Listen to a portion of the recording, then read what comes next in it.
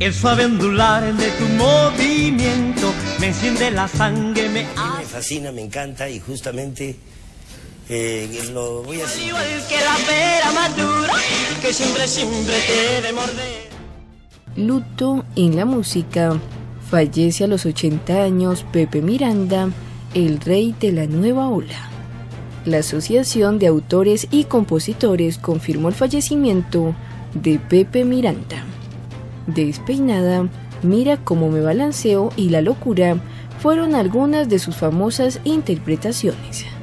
Uno de los más grandes ídolos de la juventud allá por la década de los 60 fue sin duda Pepe Miranda, al que lo llamaban el rey.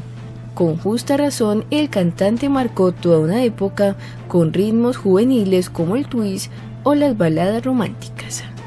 José Miranda Quiñones, su verdadero nombre, nació el 9 de junio de 1941.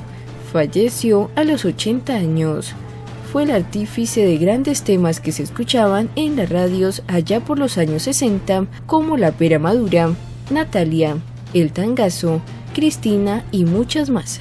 Participó como cantante en la sexta edición del Festival Coco de Oro en Barranquilla, Colombia, acaparando importantes premios.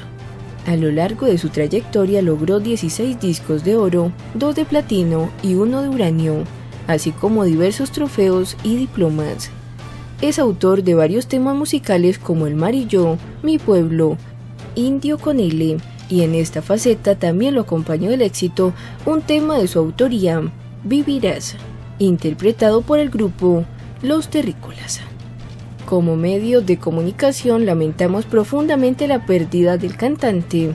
Hacemos llegar nuestras más sentidas expresiones de condolencia a sus hijos, demás familiares y amigos de este querido profesional.